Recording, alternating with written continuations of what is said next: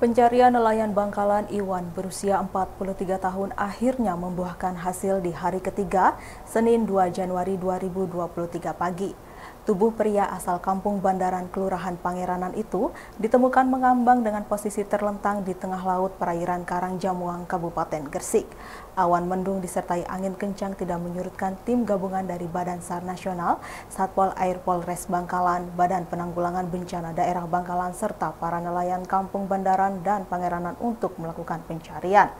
Menurut KBO Satpol Air Polres Bangkalan Ibtu Joko Purwo mengatakan, tubuh Iwan ditemukan jauh dari lokasi awal yang dijadikan tempat untuk menebar jaring kepiting. Dalam proses evakuasi, ketinggian air laut di pesisir kampung Bandaran sedang surut.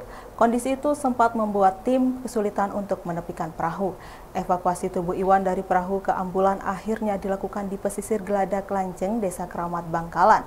Usai menemukan tubuh korban, jenazah langsung dievakuasi ke rumah duka sesuai permintaan pihak keluarga yang tidak menghendaki untuk dibawa ke rumah sakit.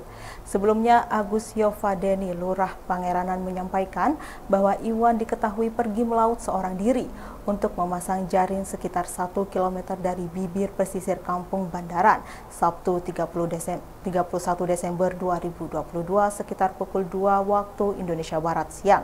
Dua jam berselang, seorang nelayan menemukan perahu Iwan ditemukan tanpa awak dengan posisi terbalik dan mengapung di tengah laut. Masyarakat nelayan sudah berkumpul di titik ditemukan perahu pada pukul 5 sore waktu Indonesia Barat.